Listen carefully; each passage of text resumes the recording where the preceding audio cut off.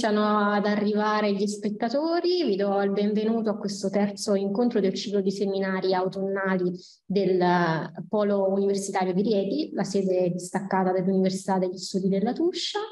Eh, dopo un avvio la scorsa settimana sul tema della promozione del territorio, eh, sulla base del marketing e del turismo sostenibile, oggi Passiamo ad un altro argomento eh, che invece sono le prospettive future per la sicurezza e la salute sul lavoro in agricoltura e silvicoltura, un tema che andremo ad affrontare con Massimo Cecchini, che è un professore ordinario di meccanica agraria presso l'Università degli Studi della Tuscia ed è inoltre il presidente del Consiglio di corso di studi del nuovo corso di laurea magistrale attivato presso il Polo eh, di Rieti, GEDAM, che è la gestione digitale nell'agricoltura del territorio montano, è un, un, seminario che appunto affronterà e ci descriverà gli, quelli che possono essere degli effetti negativi sulla eh, sicurezza e la salute sul lavoro nell'ambito agricolo e forestale legati ad una serie di cambiamenti in atto dal punto di vista tecnologico, organizzativo e non in ultimo anche il global warming. Eh, il professore andrà dunque a descriverci questi, quali sono questi potenziali effetti e dall'altra parte se si possano contrastare per evitare ovviamente un impoverimento di eh, un settore primario che è importante sia per quanto riguarda l'economia ma anche per la salvaguardia dell'ambiente. Non aggiungo altro e eh, cedo la parola al professor Cecchini ricordandovi che al termine della presentazione potrete sottoporre delle domande eh, nella sezione domande e risposte. Buona visione. Grazie, ringrazio la dottoressa Marras e anche il professor Pagnotta che hanno eh, organizzato questo ciclo di seminari, ehm, tutti molto interessanti, devo dire, ehm, che non ho al momento avuto modo di vedere perché ovviamente per motivi di lavoro, ma mi riprometto di, di riprendere poi quando saranno pubblicati a breve sul canale YouTube del Dipartimento. Intanto vado a condividere lo schermo. Ecco, questo, questo webinar è un po' la prosecuzione di un webinar che fu fatto a giugno, organizzato insieme a Porta Futuro Lazio, fu tenuto all'epoca dall'ingegner Francesco Battelli e si parlava appunto di, eh, del futuro un po' dell'agricoltura dal punto di vista degli aspetti di sicurezza e salute. E riprenderò quegli argomenti, quindi chi, chi non ha seguito questo webinar non avrà nessun problema a seguire il mio ehm, perché eh, partiamo entrambi diciamo, da, uh, da un uh, documento che vedremo poi eh, di partenza e che sarà molto importante proprio per comprendere il futuro di questo settore. Questa è una breve eh, una scaletta del, della giornata, no? dopo aver in, introdotto un po' alcuni aspetti. Eh, vedremo un attimo quali sono le, le, cosiddette sfide future del settore primario, quindi del settore agricolo e forestale, e ehm, per poi eh, fare una panoramica dei principali fattori di rischio per la salute e la sicurezza sul lavoro uh, nel settore e, e, passare poi a quelli che potrebbero essere i rischi emergenti, diciamo quelli futuri eh, con i quali avremo a che fare appunto nel futuro prossimo. Ehm, e poi trarremo alcune conclusioni. E, come accennavo, il um, seminario parte da um, da un documento è quello che vediamo qui in alto, no? dell'OSHA, EUOSHA, eh, Review on the Future of Agriculture and Occupational Safety and Health. Eh, che cos'è l'EUOSHA? Eh, L'Agenzia Europea per la Sicurezza e la Salute sul Lavoro. È un'agenzia che si occupa di informazione e sensibilizzazione su queste tematiche nell'ambito dell'Unione Europea e, e lo fa da, da, diversi anni. Come vedete è stata istituita nel 1994 proprio con un regolamento europeo e poi diciamo è stata un po' mh, modificata, rinnovata nel 2019 quando appunto è diventata una vera e propria agenzia, l'attuale agenzia che ha sede a Bilbao. E, mh, questa, questa EUOSHA, questa agenzia si occupa, diciamo, ha diverse iniziative, no? Nel corso dell'anno si eh, occupa di, ehm, ad esempio, campagne eh, di sensibilizzazione che si chiamano ambienti di lavoro sani e sicuri. Sono campagne biennali o triennali, come, come sarà ad esempio la prossima, eh, che mirano appunto ad aumentare la consapevolezza su queste tematiche. Eh, l'ultima campagna che si è conclusa quest'anno ha riguardato i disturbi muscoloscheletrici, uno dei fattori di rischio più diffusi eh, a livello europeo in tutti i settori lavorativi.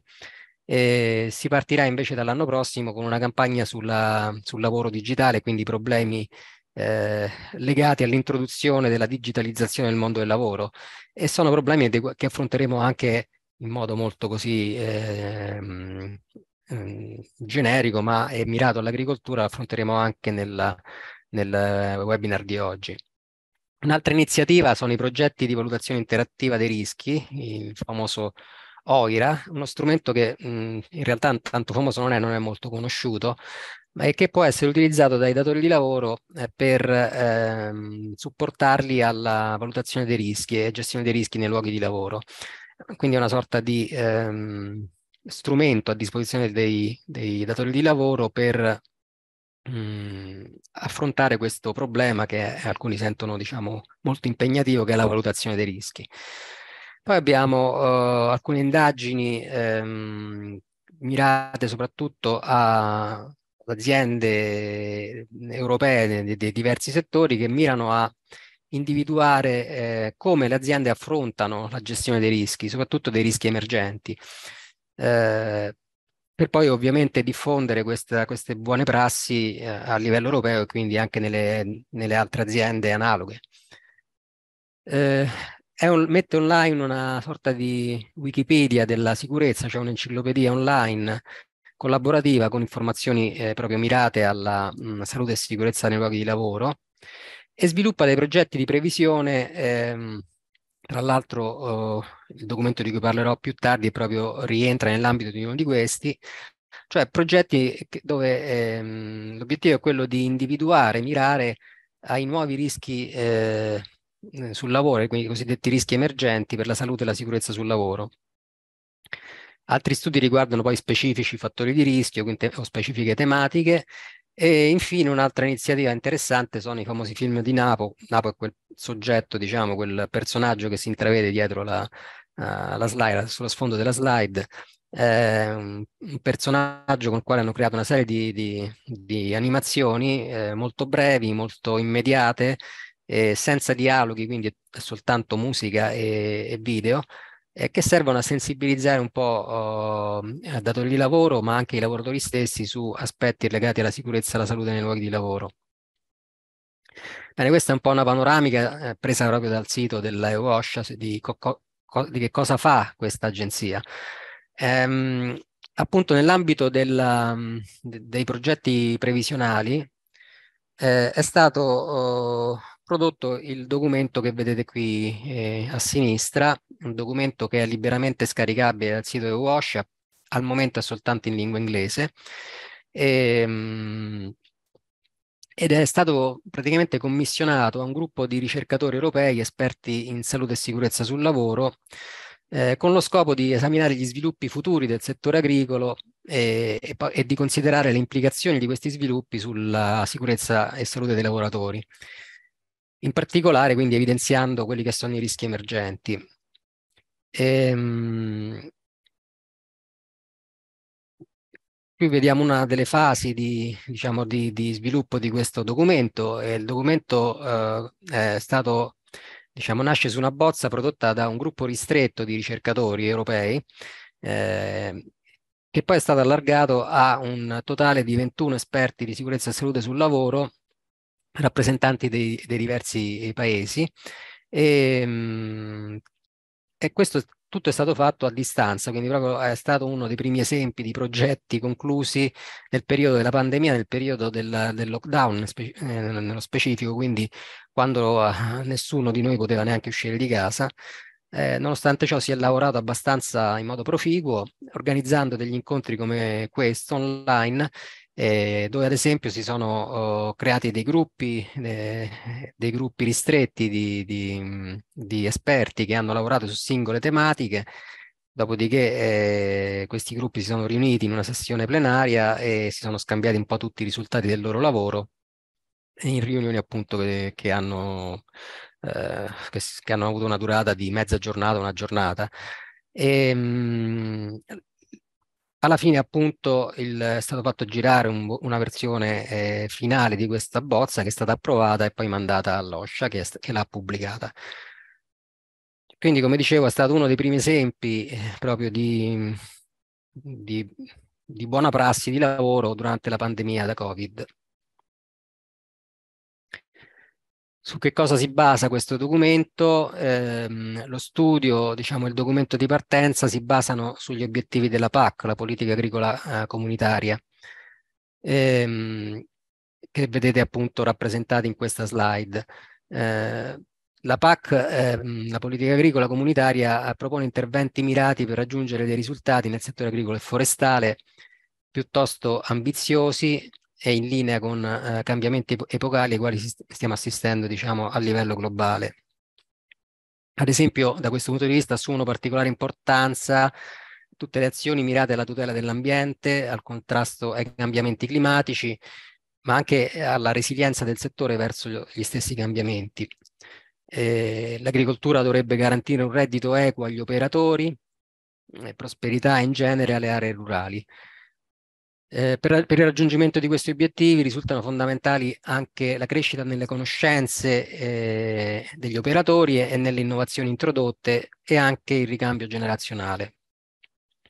Altri obiettivi riguardano la sicurezza alimentare, eh, sia in termini qualitativi ma anche in quelli quantitativi, eh, vista la necessità di eh, sfamare, eh, come vedremo più tardi, no? una popolazione globale in continuo aumento. Per raggiungere eh, gli obiettivi definiti dalla politica europea eh, abbiamo bisogno nel settore di, gro di grossi interventi di modernizzazione. E questi riguarderanno principalmente due aspetti. Eh, da, una, da, un lato il, cambi il, cambiamento del capitale fisico, vale a dire eh, l'introduzione di nuove macchine, eh, di infrastrutture, della digitalizzazione e così via. Dall'altra abbiamo anche invece la necessità di un cambiamento uh, del capitale umano.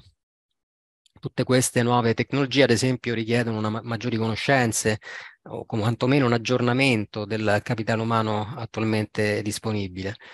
Eh, richiederanno senz'altro anche nuove professionalità e da questo punto di vista eh, proprio i corsi di laurea che, che abbiamo su Rieti sono uh, proprio uh, improntati in questa direzione, cioè cercare di eh, formare eh, gli agronomi del futuro, quelli che praticamente eh, saranno in grado poi di gestire quest questi cambiamenti, eh, diciamo un po' epocali nell'agricoltura e nella selvicoltura. Quindi eh, questo report dell'EOSHA è questa specie di, chiamiamolo brainstorming, che è stato realizzato dal gruppo di lavoro internazionale eh, partendo da, queste, da, questi presupposti che, eh, della PAC che rappresentano un po' le sfide per il futuro del settore agricolo e forestale, eh, ha cercato eh, in primo luogo di individuare i principali trend del settore. Quindi si è partiti da una fotografia della situazione attuale per cercare appunto di sviluppare eh, quelle che, quelle che saranno invece quelli che saranno i possibili scenari futuri. Ecco, la situazione attuale dal punto di vista della sicurezza e della salute sul lavoro non è, non è particolarmente entusiasmante, anzi direi tutt'altro, in quanto l'agricoltura e la selvicoltura risultano tra i settori in assoluto più pericolosi in tutta Europa, eh, con indici infortunistici paragonabili o molto spesso superiori a quelli di settori ritenuti eh, anche più pericolosi come il settore edile, ma in realtà apparentemente più pericolosi, ecco, perché di fatto poi si dimostra essere l'agricoltura quello più pericoloso, se togliamo qualche altro settore un po' di particolare, tipo insomma eh, il lavoro nelle, nelle, cave e così via. E, come vedete, eh, studi recenti in, danno indicazioni su uh, casi eh, di infortunio mortale nel, nel, nel territorio dell'Unione Europea intorno ai 500 uh, all'anno, quindi intorno ai 500 casi all'anno, con oltre 150.000 casi di infortunio non mortale. Il problema è che si tratta uh, sicuramente di dati sottostimati. Ad esempio, uh, in Italia, soltanto diciamo, negli ultimi anni, assistiamo a un numero di eh, infortuni mortali nel settore agricolo che oscilla fra un po' più di 100, diciamo fra i 120 e i 150 casi. Eh, questo soltanto in Italia, quindi figuriamoci se in Europa non superiamo i 500 decessi. Ma il dato sicuramente più sottostimato, perché ehm, evidentemente i casi mortali difficile, sono difficili un po' da, da, da, sfuggire, da, nascondere, da far sfuggire le statistiche, ma quello che invece è, un po sotto, è molto sottostimato sono gli altri infortuni, gli infortuni non mortali. Eh, qui per esempio in Italia contiamo soltanto di quelli, di quelli diciamo, ufficiali valori intorno ai 30-35 mila eh, infortuni l'anno nel settore agricolo. E, ehm, ma sfuggono mh, mm, moltissimi casi, per esempio mh, mm, quelli eh, che diciamo sono a carico di lavoratori in nero oppure anche di lavoratori in generale non assicurati perché vanno a finire nelle statistiche infortuni denunciati all'INAIL che è l'istituto eh, per l'assicurazione eh, riguardante gli infortuni sul lavoro. Se una persona non è assicurata, come potrebbe essere ad esempio un hobbista che eh, lavora la campagna per hobby, magari nei ritagli di tempo, sicuramente questi, questi dati non andranno mai eh, nelle statistiche ufficiali. Anche per quanto riguarda uh, la salute, eh, diciamo intesa semplicemente come assenza di malattia, eh, in realtà la definizione, la definizione, è molto più ampia, infatti in realtà comprende anche il concetto di eh, benessere. Eh, comunque la salute per, di per sé è molto importante per gli agricoltori, è fondamentale per lo sviluppo del settore, ma anche per la, la sola sopravvivenza del settore. Purtroppo anche qui però eh, vedete come alcuni studi mostrano come eh, il 60% dei lavoratori riferisce di avere mal una malattia cronica invalidante o una malattia cardiovascolare. Eh, il numero di denunce eh, di riconoscimenti di malattie professionali in agricoltura e selvicoltura è superiore rispetto a qualsiasi altro settore e, ehm, e questo diciamo, è legato al fatto che alcune delle caratteristiche lavorative sono meno favorevoli rispetto ad altri settori, come ad esempio uh, la presenza di lavoro prettamente manuale, un orario di lavoro atipico, lavori che si concentrano in particolari periodi dell'anno e così via, che sono proprio tutte, tutte caratteristiche dei settori agricolo e forestale. E, ehm, vedete come c'è anche una certa percezione di, questa, di questo rischio per la salute tra, eh, tra i lavoratori stessi. Questa vecchia indagine del 2007 mostrava come in Europa eh, il 61,3% degli intervistati eh, operanti nel settore agricolo e della pesca riferivano che il proprio lavoro ha, ha influito sulla propria salute, eh, mentre nel settore dire soltanto il 44% diciamo, aveva questa, questa opinione. In generale c'è comunque una forte preoccupazione da parte degli operatori stessi, soprattutto per la salute, molto più che, eh, riguardanti i rischi infortunistici. Quindi c'è una buona percezione dei rischi eh, per la salute, ma una cattiva percezione dei rischi eh, per la sicurezza, dei rischi di infortunio. Quali sono le principali cause di, di infortunio grave o mortale nel settore? Qui le vedete ho, organizzate quindi per, ehm, in ordine diciamo, di, di, di, importanza, in ordine di numero di casi gravi soprattutto. Eh, al primo posto sicuramente e di gran lunga ci sono gli infortuni durante il trasporto, vuol dire gli infortuni con le macchine utilizzate per il trasporto, in primo luogo il trattore. E la, e la stragrande maggior, maggioranza di questi infortuni riguardano il ribaltamento del veicolo. Eh, sono spesso casi letali perché con il ribaltamento si ha anche lo schiacciamento dell'operatore, e mh, mm, soprattutto laddove non si utilizzano appunto i dispositivi di protezione eh, tipici che sono appunto i, i ROPS, cioè le, le, strutture tipo archi di protezione, roll bar o cabine, eh, oppure, mh, mm, e, oppure si usano questi ma non si usa un altro dispositivo importante che è ancora meno utilizzato, che è la cintura di sicurezza, perché molto spesso in, queste, in, questo, in questa dinamica del ribaltamento abbiamo una proiezione eh, verso l'esterno del, del, conducente che poi ris risulta con facilità schiacciato addirittura a volte anche dalla stessa struttura di protezione che dovrebbe invece garantirgli la sicurezza. Quindi i due elementi, cintura e arco, vanno utilizzati eh, in, modo combinato. La seconda causa di infortuni gravi sono le cadute dall'alto, per esempio dagli alberi, ma anche da tetti, a volte anche da sfondamento di tetti, spesso si lavora per esempio su vecchie tettoie, eh, magari in, eh, in, cemento amianto, quindi in lastre ondulate di Eternit o cose del genere,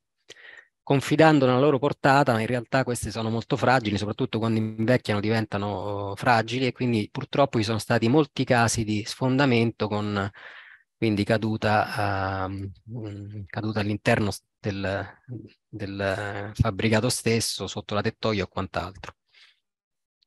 Altri eh, casi gravi si possono avere per, ess per, essere colpiti da oggetti in caduta o in movimento, come per esempio mh, mm,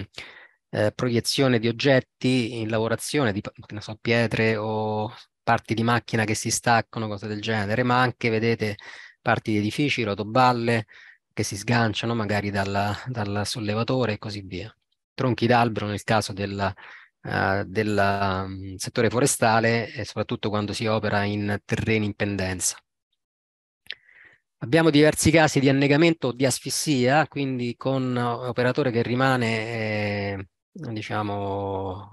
all'interno di serbatoi d'acqua, di liquame o di silos o di cisterne e così via eh, ambienti confinati in genere, eh, per i quali eh, la legge invece prevede particolari procedure di lavoro eh, e, di e diciamo anche di gestione dell'emergenza che purtroppo spesso non vengono applicate nel settore.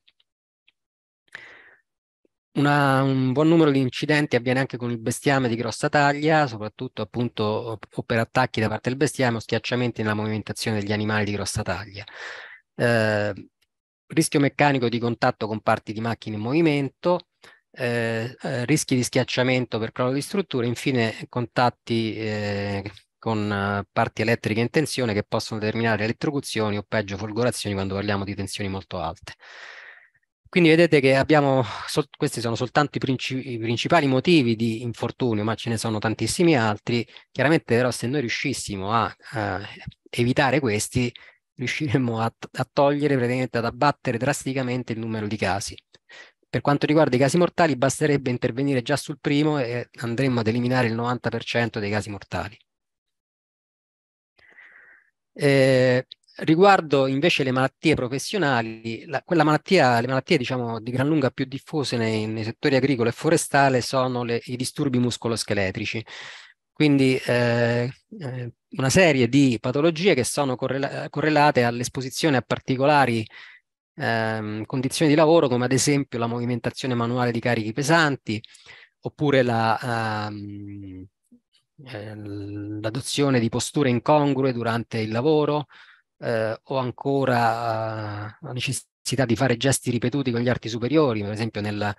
diradamento della frutta, nella potatura e così via. Ecco, questi, questi, disturbi sono molto presenti in agricoltura, più che in altri settori dove già sono comunque importanti.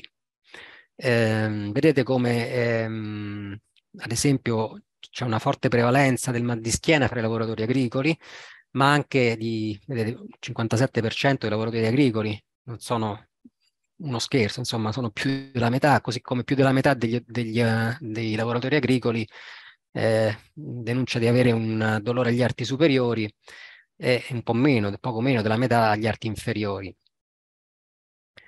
Eh, I disturbi muscoloscheletrici sono eh, in forte aumento i casi quindi di, di, di malattia denunciata e riconosciuta eh, in Italia dall'INAIL. Eh, al secondo posto diciamo, abbiamo malattie ner nervose, ma un'altra importante categoria sono le eh, malattie da rumore, eh, quindi in particolare l'ipoacusia,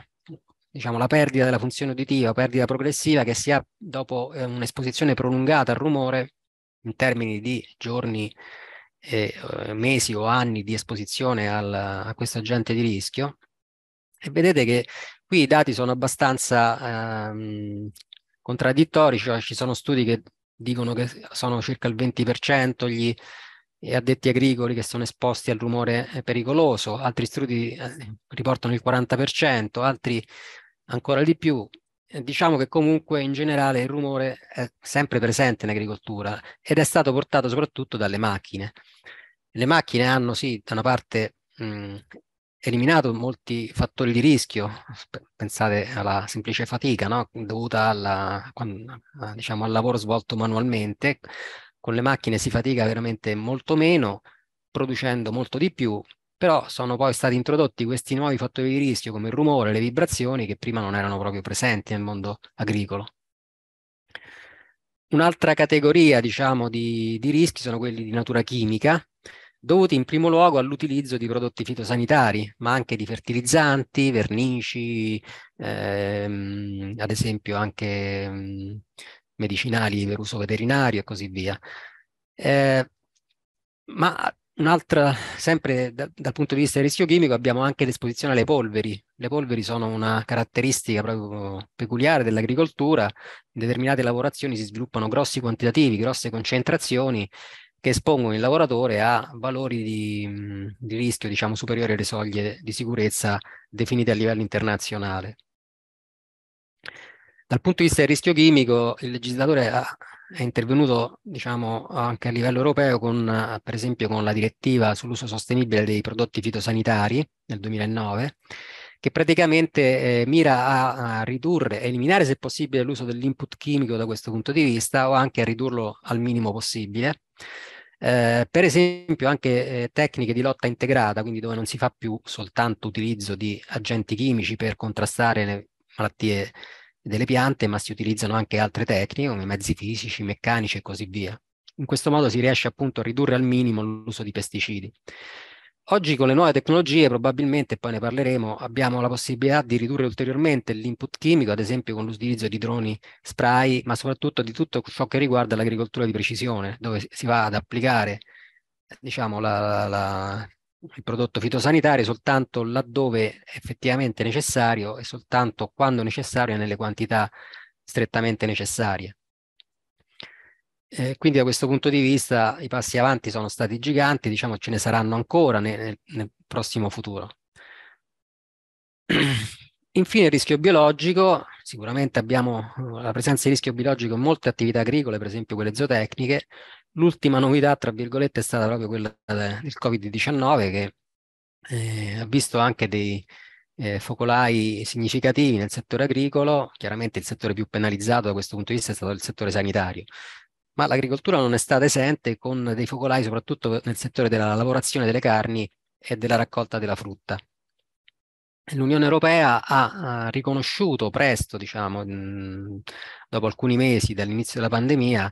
eh, il Covid-19 eh, fra, fra, gli agenti biologici, eh, pertanto chi si è ammalato di Covid durante il lavoro ehm, diciamo, è stato considerato appunto come una persona che si è infortunata sul lavoro. Si parla di infortunio anche se è una malattia qui perché la causa scatenante eh, è ristretta diciamo, a un'esposizione inferiore alla giornata di lavoro. Bene, ora per individuare diciamo, tutte le principali sfide per la sicurezza e la salute sul lavoro nel settore, eh, si è partiti da, da, alcuni segnali di cambiamento che sono uh, chiaramente individuabili nello stato attuale e che eh, probabilmente saranno sempre più consolidati in futuro, eh, già a partire diciamo, dal futuro prossimo. Eh, un primo elemento da uh, considerare sarà sicuramente la massiccia introduzione di tecnologie che appartengono alla cosiddetta smart farming o agricoltura di precisione. E si tratta di tecnologie che comprendono aspetti molto legati alla digitalizzazione di compiti, di processi, eccetera, di applicazione di tecnologie digitali. Eh, eh, queste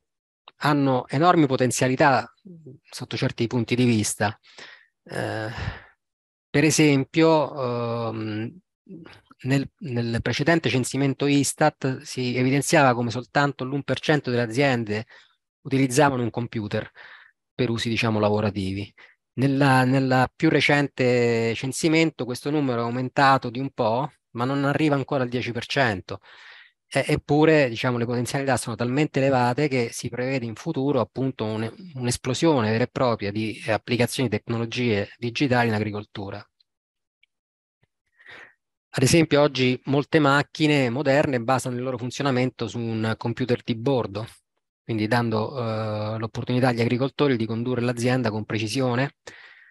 e quindi ad esempio, come dicevo prima, fornire input concimi, acqua, eh, fitofarmaci, eccetera, solo quando occorrono e dove occorrono. In questo modo si tende appunto a massimizzare le produzioni minimizzando i costi. I costi anche dal punto di vista ambientale come appunto l'impatto sull'ambiente. Eh, altre innovazioni smart prevedono ad esempio l'impiego di sensori, di attuatori, di droni, mh, mm, droni aerei ma anche droni terrestri, eh, fino ad arrivare a macchine senza conducente, quindi diciamo l'impiego della robotica, eh, tutto ciò che rientra nel concetto della cosiddetta agricoltura 4.0. Un altro trend importante è quello dei cambiamenti climatici, eh, ai quali purtroppo sono eh, legati mh, mm, sempre più frequenti eh, problemi di carattere ambientale. Sempre diciamo con riferimento ai cambiamenti climatici, ma non solo, mh, mm, sono, ehm, saranno presenti sempre più mh, mm, diciamo, aspetti di, di, carattere sociale da considerare, ad esempio il fenomeno delle migrazioni, ma anche eh, diciamo, cambiamenti nei gusti, negli usi dei consumatori, eh, con una ripercussione sui mercati dei prodotti alimentari e in genere eh, di provenienza dai settori agrozootecnico e forestale.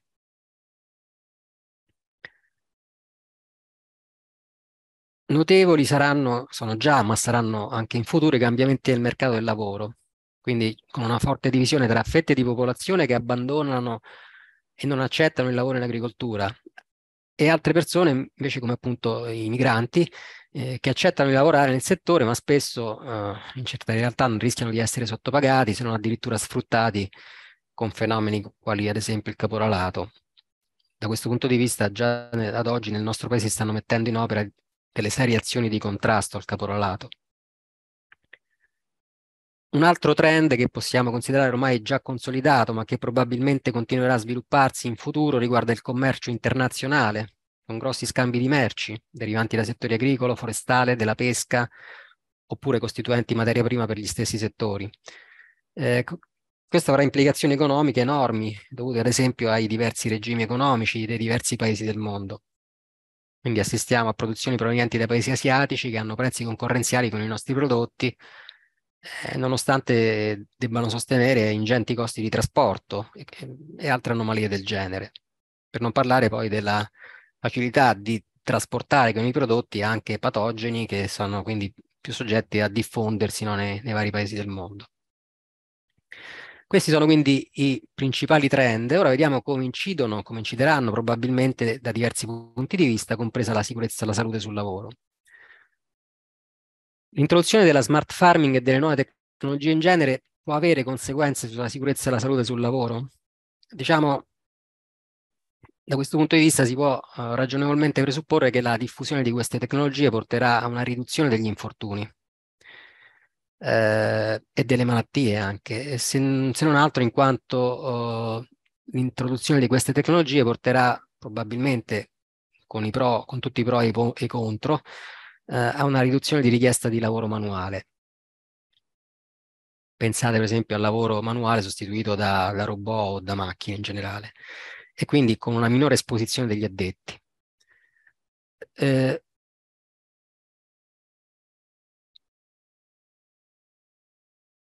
Mm, diciamo,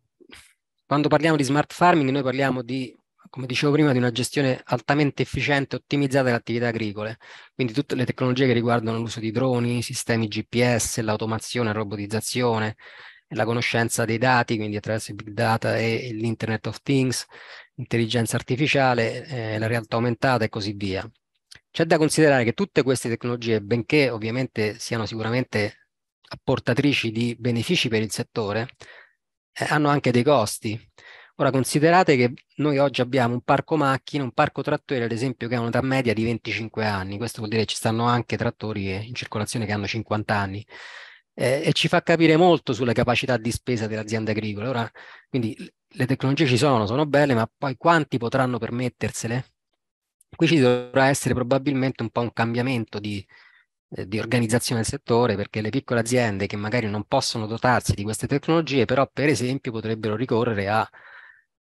a, diciamo, a società di servizi, ad aziende di servizi che le forniranno a prezzi ovviamente contenuti per l'azienda comunque eh, in grado di essere diciamo, più che ehm, ripagati da, poi dalla produzione, dall'ottimizzazione della produzione stessa. Eh, quindi la, i fattori che un po' riducono no, l'adozione di queste nuove tecnologie sono appunto le dimensioni aziendali e il, il basso reddito aziendale, ma anche altre, per esempio il fatto che queste tecnologie siano molto spesso collegate alla presenza di una rete internet, no? quindi sono in qualche modo uh, tecnologie che utilizzano dati digitali online, eh, non, non in, tutta, in, tutta, in tutti i terreni agricoli abbiamo la possibilità di accedere a questi dati. Vedete, soltanto il 50% circa delle zone rurali europee hanno un accesso adeguato. E poi occorrono delle conoscenze, cioè un contesto culturale atto, adatto ad accogliere queste tecnologie. Eh, qui se pensiamo che spesso abbiamo dei, dei lavoratori che eh, superano anche 70 anni di età, difficilmente possiamo proporre certe soluzioni digitali a queste persone, no? Però sicuramente l'introduzione delle tecnologie diciamo smart, eh, tra virgolette, porteranno impatti positivi come un aumento della produzione agricola, della produttività e delle rese, una riduzione dei costi e sicuramente un miglioramento della sicurezza e qualità alimentare attraverso un migliore monitoraggio e tracciabilità della catena alimentare, un miglioramento del benessere animale e eh, in generale eh, un miglioramento della sostenibilità ambientale, quindi eh, il fatto di utilizzare meno risorse, eh, meno input ehm, comporterà sicuramente diciamo, un uh, miglioramento dal punto di vista uh, ambientale, dell'impatto ambientale della, dell'agricoltura in genere, ma anche de- del, nel settore forestale. Per quanto riguarda invece ehm, la salute e la sicurezza degli operatori, Sicuramente abbiamo detto potranno essere ridotti i rischi in, in, relazione alla riduzione della forza lavoro e quindi da questo punto di vista già avremo una riduzione di infortuni e malattie professionali. Ma soprattutto eh, saranno utili per migliorare il controllo dei processi e la gestione degli stessi sistemi di sicurezza e salute sul lavoro. Cioè molto spesso, sempre più spesso, abbiamo a che fare con tecnologie che in qualche modo monitorano o comunque riescono a gestire alcuni aspetti eh, legati anche alla sicurezza degli operatori stessi o alla loro salute. Si ridurranno per i motivi che dicevo prima anche eh, gli input chimici e quindi il rischio chimico dovrebbe essere ridotto grazie a queste tecnologie. E il fatto di avere, eh, per esempio, sistemi automatizzati, eh, sistemi che fanno un controllo, per esempio, delle condizioni ambientali al posto nostro, e quindi ci dicono loro quando andare a fare un trattamento oppure un'irrigazione, eccetera, eh, ci daranno, daranno diciamo, agli agricoltori maggior tempo libero, quindi un miglioramento del cosiddetto work-life balance per gli agricoltori stessi. Alcune di queste tecnologie nascono proprio poi mirate alla sicurezza e alla salute sul lavoro, quindi non potranno che apportare benefici. Per quanto riguarda invece il settore forestale, eh, un drastico calo degli infortuni si, si potrà avere al, con il passaggio del, delle attività di, di taglio con uh, la motosega, che, che, quello che avviene diciamo oggi comunemente, ehm, con macchine invece del genere che vediamo in questa figura, cioè con degli harvester, dove un operatore in cabina riesce a fare diverse operazioni che farebbero invece più operatori con motosega esponendosi a più rischi. Quindi in questo caso si può fare un abbattimento, una seramatura, una scortecciatura, un carico, tutto da, uh, in una situazione di tutta sicurezza. È chiaro che sono macchine costose anche in questo caso e che poi richiedono uh, particolari condizioni per accedere in bosco, che non sempre si presentano. Questi sono gli aspetti positivi, ma ci sono anche de delle minacce eh, apportate dalle nuove tecnologie. Eh, come dicevo prima, le macchine quando sono state introdotte hanno sicuramente ridotto il rischio, però poi hanno portato nuovi rischi. Lo stesso potrebbe accadere con queste nuove tecnologie, quindi sono tecnologie che bisogna valutare attentamente prima di mettere in uso, prima ancora di metterle sul mercato al servizio degli agricoltori, proprio per evitare di introdurre eh, diciamo, nuovi pericoli e pericoli diciamo, non controllabili. Vanno quindi definiti dei protocolli di sicurezza Eh, ad esempio, per quanto riguarda le macchine, ad oggi ehm, è in vigore la direttiva macchine cosiddetta, no? un decreto che è il decreto 17 del 2010 che prevede che il costruttore prima di mettere in uh, commercio una macchina deve valutare che siano rispettati tutti i requisiti di sicurezza uh, sulla macchina stessa e poi potrà certificarla e metterla in, sul mercato. Il problema è che già questa direttiva è vecchia, perché? Perché nel frattempo sono esplose tutte queste tecnologie moderne basate sul digitale che sono ormai a bordo di quasi tutte le macchine. Eh, siamo stati nella, la settimana scorsa a l'EIMA, la fiera di Bologna, dove c'era un espositore di tutto il mondo di macchine agricole e praticamente non c'era una macchina che non avesse a bordo de, de, de, dei sistemi digitali di controllo, di monitoraggio e quant'altro. Ecco, è chiaro che eh, tutto questo aspetto di questa elettronica di bordo, diciamo, non è, non è proprio contemplato dalla direttiva macchine, perché sono tecnologie che all'epoca non c'erano e il legislatore sta avendo molte difficoltà anche ad aggiornare la direttiva macchine, che tra l'altro a breve dovrebbe cambiare, si dovrebbe parlare di regolamento macchine, non più di direttiva, quindi entrerà in vigore su tutto il territorio europeo nel momento in cui sarà fatto il nuovo regolamento. Però, ripeto, ci sono delle difficoltà a, a stare dietro a tutte queste innovazioni, quindi il legislatore ad oggi non riesce ancora ad emanare un, un regolamento definitivo. Eh, la riduzione della manodopera ovviamente può comportare l'aumento di una situazione che già è presente in agricoltura e comunque è un pericolo di per sé, il lavoro in solitudine, eh, un pericolo riguardante soprattutto situazioni di emergenza, la gestione dell'emergenza, quindi in caso di malessere o, o quant'altro, infortuni eccetera, il soccorso l'infortunato, la persona che si è sentita male eccetera, che può diventare sempre più complicato eh, ma tuttavia ci sono già delle tecnologie che riescono in qualche modo ad aiutare in questo senso. Eh, un'altra, diciamo, nuova tecnologia che è sempre più diffusa è quella basata sull'intelligenza artificiale. Da questo punto di vista vanno, andranno sicuramente sempre più considerati alcuni aspetti etici. Per esempio, c'è una macchina che eh, svolge delle operazioni in modo autonomo grazie all'intelligenza artificiale, ma dovesse verificarsi un incidente, un infortunio con questa macchina, perché magari la macchina va ad urtare una persona o quant'altro, di chi è la colpa? Del proprietario della macchina, di chi l'ha programmata, del costruttore o di, eh, che ne so, della macchina stessa? Quindi non è, non è facile, diciamo, gestire questi aspetti. Una, sempre legati al software di bordo delle macchine, ci può essere come tutti i software il problema, visto che sono molto spesso collegati in rete, problemi eh, di hacking, cioè praticamente eh, malintenzionati che potrebbero entrare nel software di macchina e quindi manometterlo con tutte le conseguenze possibili, immaginabili sulla sicurezza della macchina stessa. No? E quindi diciamo che qui ci dovranno essere dei sistemi di sicurezza da, da, da aggiungere alle macchine. E infine un altro aspetto che dobbiamo assolutamente considerare è quello che dicevo della formazione, cioè introduciamo sì nuove tecnologie ma poi ci deve essere la possibilità di saperle utilizzare e utilizzare in modo corretto in particolare. Riguardo i cambiamenti climatici, eh, sicuramente già incidono oggi, cominciano a incidere pesantemente già sull'agricoltura attuale, abbiamo visto tutto, tutti diciamo, i problemi dati dalla siccità uh, di quest'anno, Abbiamo visto anche altri problemi, come per esempio negli anni scorsi gli incendi e così via, oppure le, le alluvioni, no? Purtroppo oh, sono sempre più frequenti questi fenomeni estremi con, diciamo, grossi impatti sull'agricoltura.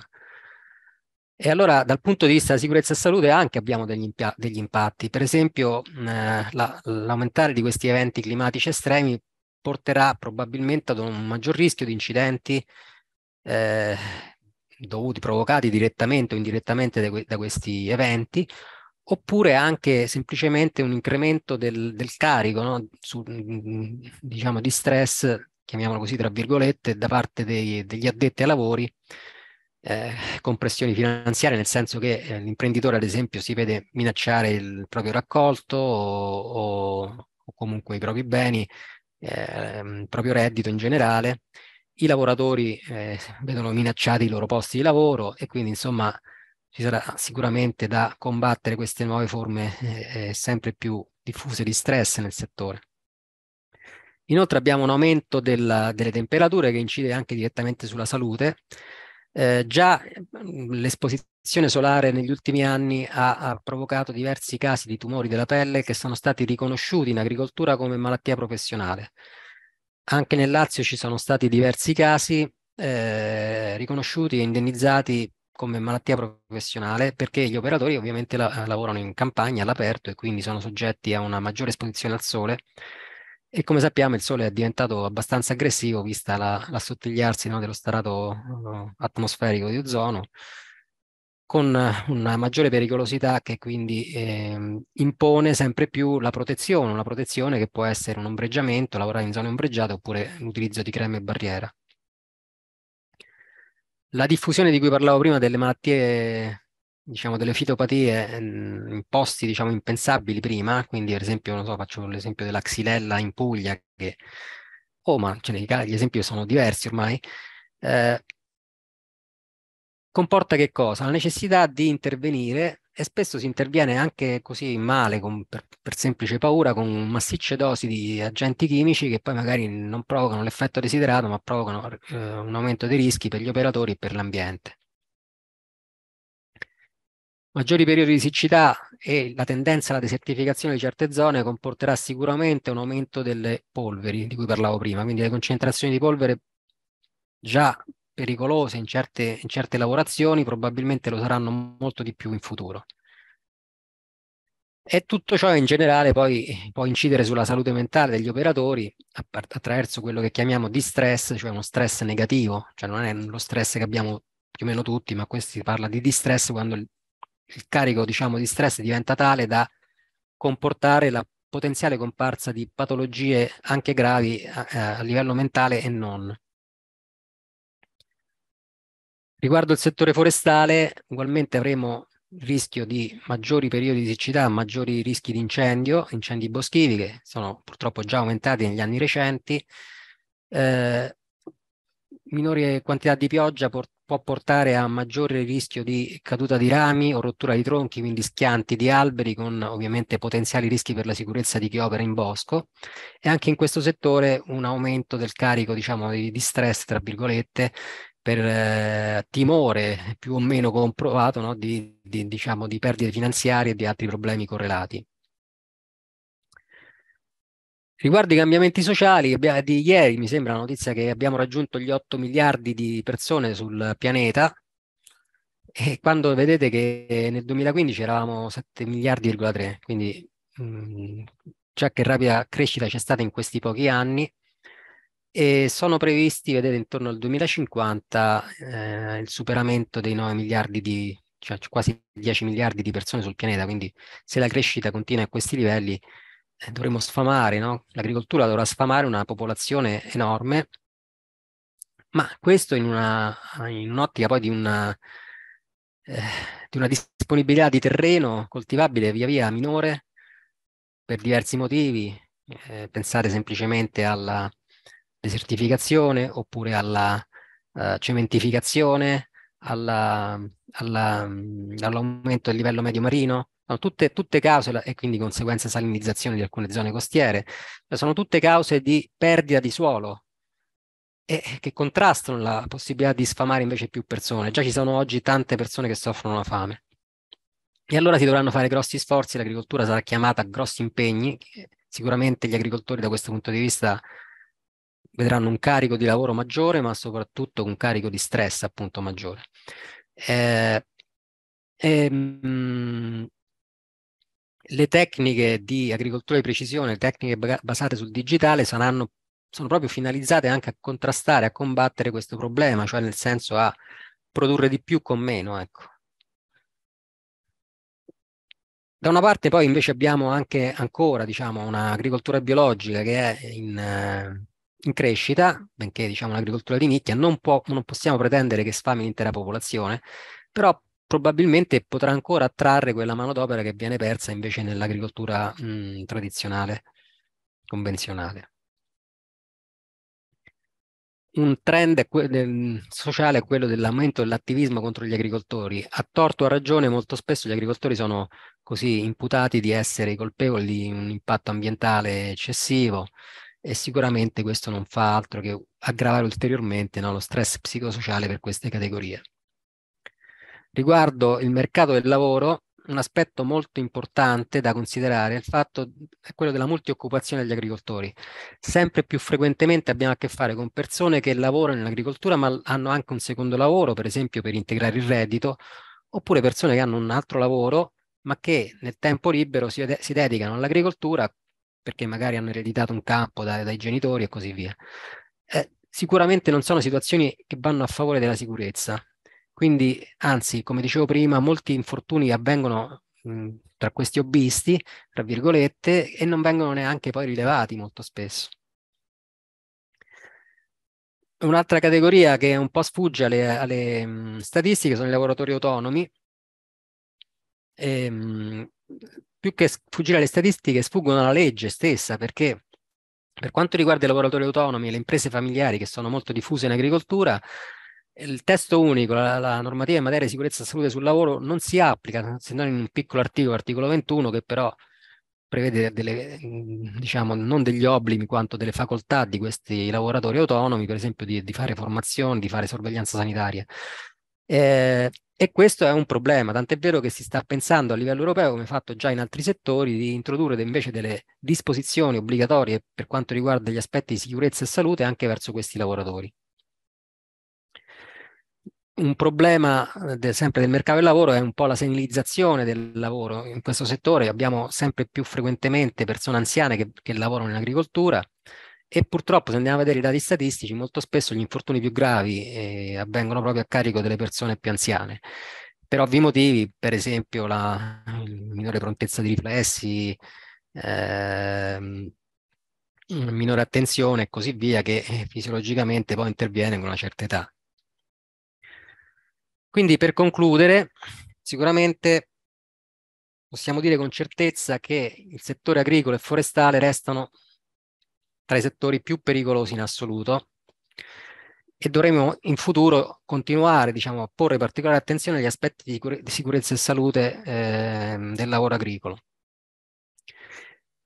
Ovviamente dipende anche da noi, da noi intendo uh, il settore della ricerca, mh, e della, anche dell'alta formazione, far scendere diciamo, i livelli di rischio nell'agricoltura del futuro. Il rischio è sempre una combinazione diciamo, di eh, qualche problema che si determina nell'ambiente di lavoro, una non conformità, una macchina, che ne so, un guasto, qualcosa del genere, con un comportamento della persona che non è idoneo. Perciò si deve intervenire proprio da questi due punti di vista, da una parte con eh, la tecnologia, con eh, la messa a disposizione di tecnologie sicure, dall'altra con una eh, formazione idonea verso i lavoratori addetti, quindi formazione specifica per la sicurezza e la salute sul lavoro. Una formazione non può essere fatta però da persone che si improvvisano formatori che magari del settore non ne sanno nulla, altrimenti i risultati saranno quelli che sono purtroppo ancora oggi cioè c'è bisogno di formatori veramente preparati nel settore. La figura, le figure che cerchiamo di formare da un po' di tempo a questa parte, per esempio nella nostra università, sono figure che conoscano non soltanto tutti i processi eh, agricoli, aspetti economici, di, di, produzione e così via, ma anche aspetti di sicurezza di, e di salute sul lavoro. Siamo stati i primi in Italia a rilasciare, per esempio, gli attestati per responsabili addetti ai servizi di prevenzione e protezione per il settore agricolo e forestale, e ancora oggi siamo tra gli unici. Eh, ci sono molti studenti che scelgono anche di fare questa attività come attività formativa scelta. Eh, è importante che insomma un agronomo, anche se non si occupa di, direttamente di queste tematiche, sia comunque formato, abbia delle, diciamo, una formazione di base sulla materia del, dell'antinfortunistica e dell'igiene del lavoro. Un problema importante è quello della sottostima dei livelli di, eh, di rischio che di, deriva molto spesso dalla sottostima degli infortuni. Abbiamo visto che nelle statistiche abbiamo dati che non sono reali. Eh, poi se andiamo a vedere tra i vari paesi della, comunità europea, eh, le metodologie di raccolta di questi dati sono diversi, quindi non si possono fare neanche oggi dei paragoni fra che ne so, il livello infortunistico in Francia, in Italia, in Portogallo e quant'altro. Eh, manca un'uniformità sul territorio europeo l'impatto delle nuove tecnologie mh, mm, diciamo, eh, abbiamo detto che può essere favorevole da questo punto di vista, ci possono venire incontro per la riduzione dei rischi, ma occorre comunque valutarle attentamente prima di metterle in campo. Consentiranno una riduzione di manodopera, ma anche una maggiore richiesta di formazione per gli addetti ai lavori. E le cause, diciamo, eh, sono mm, diverse, ma soprattutto riconducibili alla digitalizzazione, appunto, quindi con, una, eh, con un rischio di divisione digitale eh, sempre presente in questi casi e all'introduzione di processi più complessi che richiedono sempre maggiori capacità intellettuali. Diciamo che l'agricoltore del futuro sarà un agricoltore molto diverso da quello attuale. Dovrà avere più conoscenze riguardanti aspetti tecnologici o comunque dovrà affidarsi a, eh, diciamo, consulenti che abbiano queste conoscenze, altrimenti si rischia di rimanere ovviamente fuori mercato. E la nuova normativa non potrà più trascurare i coltivatori diretti, le aziende familiari, perché sennò rimarrebbe, come lo è ad oggi, scoperta dalla tutela della sicurezza e della salute una fetta di popolazione molto vasta. Le aziende agricole e forestali, le imprese forestali italiane sono molto piccole, la gran parte ovviamente, eh, poi sono anche quelle grandi, ma se andiamo numericamente sono molto prevalenti quelle molto piccole, a volte appunto condotte soltanto dal proprietario o dalla sua famiglia, quindi che sfuggono alla normativa di sicurezza e salute sul lavoro. Sicuramente abbi ehm, abbiamo detto queste tecnologie sicuramente eh, aiuteranno, ma hanno dei costi e quindi probabilmente la politica dovrà essere diretta verso una incentivazione nell'adozione di questi macchinari intelligenti, sicuri, eccetera. Oggi, per esempio, ci sono i bandi, i famosi bandi ISI dell'INAIL, quindi ogni anno no, l'INAIL interviene per finanziando o cofinanziando l'acquisto di nuovi macchinari per ovviamente eliminare quelli più vecchi e più pericolosi, quindi per la riduzione del rischio. Però questo dovrà probabilmente essere mh, mm, affiancata da altre misure per eh, appunto favorire questo ricambio del, delle tecnologie in uso.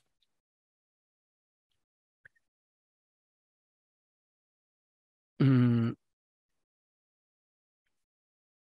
Un'altra cosa eh, fondamentale che ricordo, che ho già accennato, è l'aspetto legato alla um, integrazione della sicurezza proprio già in fase di progettazione della nuova tecnologia. I progettisti, gli ingegneri, gli informatici e quant'altro devono avere competenze in materia di sicurezza perché quando vanno a, a, introdurre una nuova tecnologia su un macchinario, ad esempio, dovranno fare in modo che questa non possa comportare rischi aggiuntivi per la sicurezza e la salute dei lavoratori.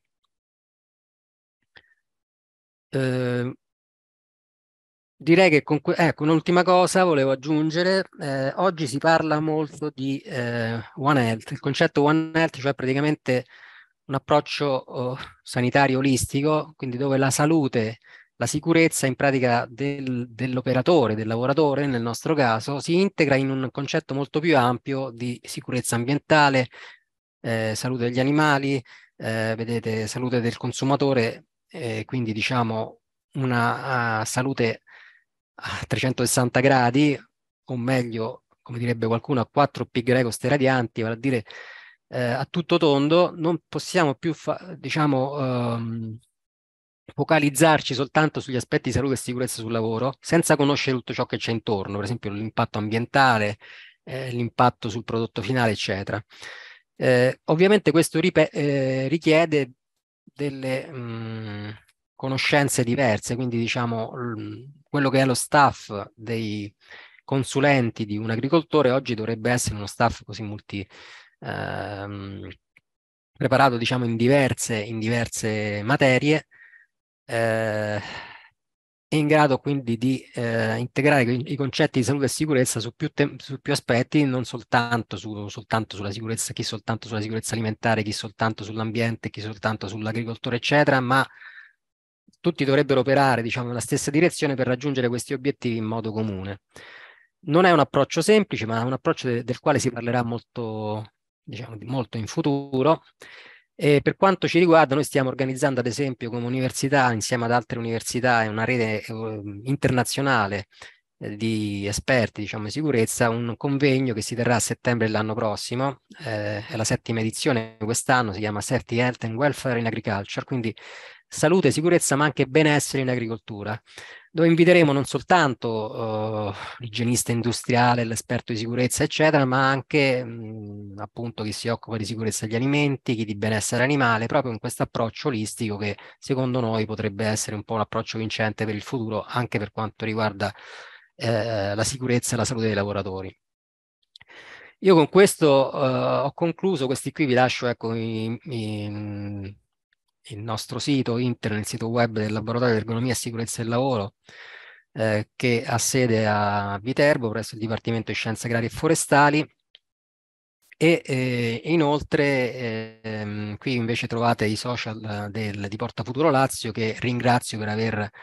organizzato uh, questa, questo ciclo di seminari, diciamo nell'ambito del quale poi c'è il ciclo di seminari di scienze della montagna e di gestione digitale dell'agricoltura e del territorio montano. E, e, e, quindi niente, ringrazio tutti voi per l'attenzione e rimango a disposizione per eventuali domande. Professore, io la ringrazio anche a nome penso dei, dei, presenti e apro un po' le danze perché mi sono presa un appunto, probabilmente sembrerà un po' l'italiano medio ignorante in materia. Eh, per quanto riguarda lo smart farming, c'è una bella lista insomma di pro e contro, in particolare è un, una via, una, un'opzione che consente di ridurre i rischi, però abbiamo visto che ci sono dei costi da sostenere, c'è il timore, diciamo, il rischio anche di perdere eh, la manodopera semplice per sostituirla con personale più specializzato nel campo. L'Italia, che vede questa abbondanza di piccole aziende agricole molto votate alla ricerca sempre di più appunto anche del biologico, del, eh, dell'agricoltura di nicchia, quanto è impreparata allo smart, work, allo smart farming, cioè in termini di futuro, quando potremmo ipotizzare di vedere una trasformazione simile qui da noi? Questa è la prima domanda. La seconda è se a livello europeo c'è già qualcuno come esempio che, potremmo, che potrebbe appunto rappresentare un esempio per l'Italia per dire guardate che non è che c'è solo da perdere. Sì, è una domanda be- bella complessa, insomma, eh, non è semplice da... però come posso ri- riassumere una risposta? Diciamo che ehm, se, pensiamo per esempio all'acquisto semplicemente di un trattore. Oggi molte piccole aziende comprano il trattore perché pensano che sia utile, no? perché sia necessario per effettuare lavorazioni, eccetera. Ma quel trattore non se lo ripagheranno mai, perché se, fa, se facessero prima due conti, proprio non, non mai comprerebbero quel trattore. Cioè ci sono situazioni dove eh, certe scelte vengono fatte così sulla spinta di emotiva, perché magari il vicino l'ha fatto, quell'altro l'ha fatto, però poi non hanno nessun senso dal punto di vista economico. E magari in, in certe aziende sarebbe molto più opportuno invece un ricorso a conto terzisti. E questo è, molt, è molto diffuso in Italia. Quindi il problema da cui partire è questo, secondo me. Non dobbiamo più pensare alla macchina di proprietà, macchina intendo anche tecnologia in generale, eh, quindi per ora diciamo focalizziamoci sul trattore, ma poi questo può essere esteso a qualsiasi tecnologia. Perché, non, perché rara, difficilmente una piccola azienda riuscirà poi a pagarsi in tempi, in tempi diciamo, accettabili quel, quel fattore della produzione. E se andiamo invece a fare dei calcoli, eh, ci accorgiamo che magari avremo utilità a rivolgerci a un conto, conto terzista, quindi una persona che svolge quell'operazione o ci affitta la macchina, diciamo, e e quindi ehm, senza doverla acquistare noi. Purtroppo però questa è una concezione tutta italiana, no? di dover avere, no? il possedere il fatto della produzione per produrre. Eh, la, il futuro quindi potrebbe essere invece vantaggioso e qui diciamo gli agronomi, chi si forma anche nelle nostre nostre, nei nostri corsi di laurea, dovrebbe cominciare a, a diffondere un po' la cultura proprio di, di, di, economica, quindi dell'uso economico del bene, del fattore della produzione. Eh, mh, potrebbe essere appunto vantaggioso per tutti laddove si cominciassero a, a sviluppare dei servizi per l'agricoltura, servizi quindi eh, molto mh, servizi al posto di macchine o tecnologie, cioè sarà la società di servizi, il conto terzista, l'agronomo stesso magari, che eh, si dota di determinate attrezzature per poter poi eh, fornire il servizio all'azienda che ne ha bisogno, eh, che ne ha bisogno e fornire un servizio competitivo quindi per l'azienda stessa, eh, la quale potrà produrre quindi con uh, dei margini, altrimenti si va necessariamente sotto. Per, vedete che per esempio oggi gli agricoltori non riescono a cambiarsi il trattore, eh, utilizzano ancora trattori vecchi finché non, proprio finché non, non sono distrutti, li, li, portano avanti perché, e poi sperano che non si rompano mai perché sennò dover comprare un trattore nuovo significa no? un disastro economico. E, ehm, mh, però poi questo comporta, come dicevo, l'utilizzo di macchine obsolete, macchine pericolose, quindi un elevato numero di infortuni eh, e difficilmente l'azienda si riesce a, no, a, anche a mettere in regola con tutti gli aspetti de della sicurezza. Eh, dal punto di vista della, di esempi in altri paesi invece ce ne sono, penso diciamo per esempio all'Olanda, alla Germania, no? ci sono invece situazioni, primo dove ovviamente st le strutture sono diverse, quindi diciamo abbiamo una distribuzione in termini di superfici, di, quindi di ettari, superfici medie no? per aziendali ben diverse da quelle nostre, quindi magari certe tecnologie possono essere proprietarie. E, e, e poi ovviamente eh, anche incentivi o leggi dello Stato che favoriscono certe, certe misure. Faccio l'esempio, in uh, Germania sono state, per esempio, stata fatta una legge che prevede la revisione obbligatoria delle macchine agricole, revisione dei trattori, delle macchine agricole semoventi che vanno in strada. Anche da noi c'è la legge, ma non c'è il decreto attuativo, quindi è stata prorogata per più anni. E, e questo che cosa significa? Che mentre in Germania gli infortuni mortali col trattore sono praticamente azzerati, sono pochissimi, numeri veramente sotto, sotto si contano con, con una mano forse, noi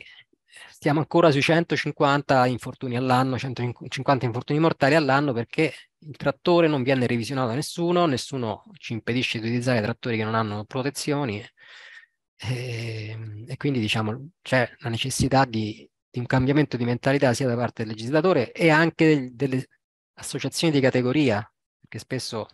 purtroppo sono le associazioni di categoria che spingono no? il legislatore, ma c'è la legge, però impediscono che ci siano dei decreti attuativi per, per cercare di difendere un po' le, le, già deboli casse delle aziende agricole, giustamente. Eh? Eh, però da una parte non facciamo spendere, ma dall'altra poi facciamo morire le persone.